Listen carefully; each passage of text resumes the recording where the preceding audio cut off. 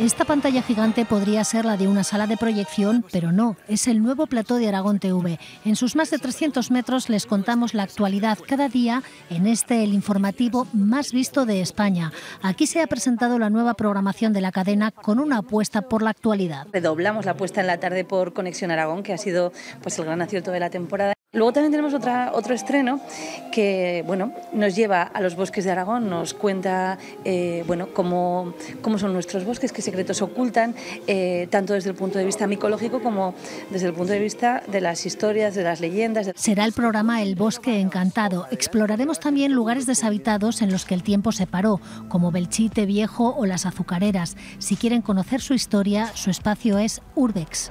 Y nos vamos a encontrar muchísima nostalgia y sobre todo muchas historias. Mm, y vamos a inaugurar con, bueno, pues con una visita a Teruel, a una casa, un auspicio, viejo auspicio, que lleva más de 20 años cerrado. Y todo esto con una gran apuesta por la calidad y contando con la última tecnología. Hemos estrenado los nuevos controles de realización en HD y estrenamos también nuestro plató de informativos, eh, un plató y unos informativos que, como siempre decimos, merecen la mejor de las imágenes. Otros programas se consolidan como El campo es nuestro, Basura o Tesoro, el concurso Atrápame si puedes o la cita diaria con los fogones de la pera limonera.